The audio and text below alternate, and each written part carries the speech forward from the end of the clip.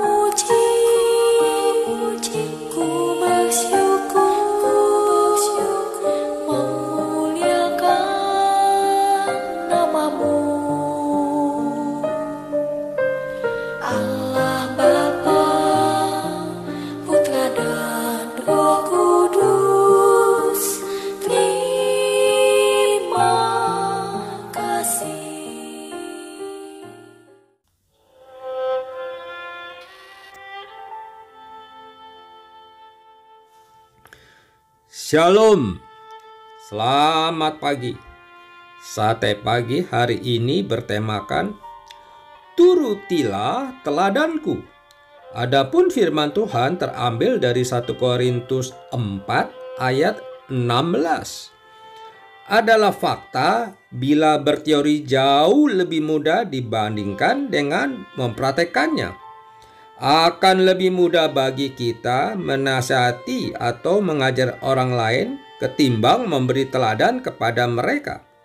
Sebab dengan menasihati, kita hanya membagikan nilai-nilai kebenaran melalui perkataan. Sementara dengan menjadi teladan, kita harus secara langsung menjadi pelaku dari setiap nilai-nilai kebenaran yang kita perkatakan itu. Sebagai contoh, tidak semua orang tua mampu menjadi teladan bagi anak-anaknya. Di satu sisi, menasehati anak agar tidak bertengkar. Di sisi lain, orang tua malah menjadi pelaku pertengkaran setiap kali berselisih paham. Jadi, sekali lagi, menjadi teladan adalah sesuatu yang jauh lebih berat dibandingkan dengan berkata-kata.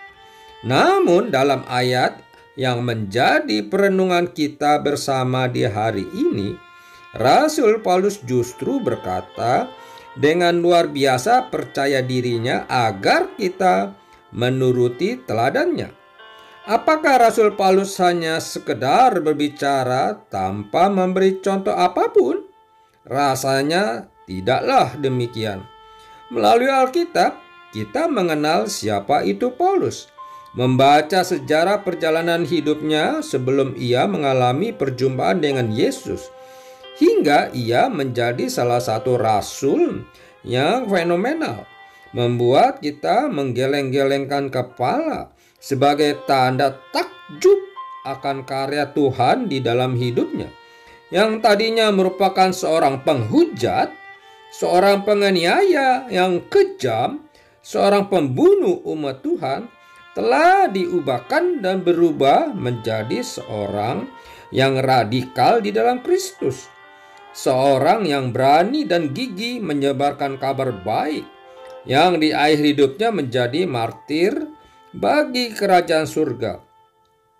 Dalam waktu yang relatif singkat, Paulus mengalami transformasi hidup perjumpaan dengan Yesus telah membawanya kepada perubahan hidup yang sungguh luar biasa. Panggilan keselamatan dari Yesus diresponnya dengan sangat baik. Di sisa hidupnya, Paulus mengenakan baju yang baru dan menanggalkan baju yang lama. Ia tampil sebagai pribadi yang baru di dalam Kristus. Ia sungguh-sungguh menghidupin Kristus di dalam hidupnya. Itulah yang menyebabkan Paulus berani menjadikan dirinya sebagai role model bagi umat Tuhan yang lain tanpa ada tekanan dari mana pun, termasuk tekanan dari dirinya sendiri. Bagaimana dengan diri kita? Sudahkah kita menjadi teladan bagi orang lain?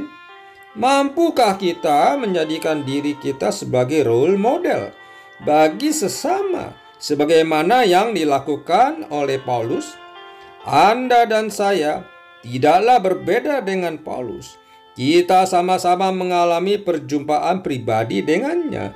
Kemudian dipanggil dan dipilih oleh Tuhan untuk menjadi role model bagi dunia ini. Saat itu, Paulus bisa saja tetap berlaku kejam dan sadis meski telah berjumpa dengan Yesus. Tetapi itu tidak dilakukannya, sebab ia sungguh-sungguh menghayati kebesarannya di dalam Kristus. Jadi, marilah benahi diri, bertobat, dan berkomitmen di dalam mengikutnya. Hayati kebebasan kita di dalam Kristus dan jalani hidup dengan benar. Amin. Mari kita berdoa. Bapak Surgawi, terima kasih telah memanggil dan memilihku menjadi teladan bagi dunia ini. Mampukanlah aku agar hidupku menjadi berkat bagi sesama. Di dalam nama Tuhan Yesus aku berdoa. Amin.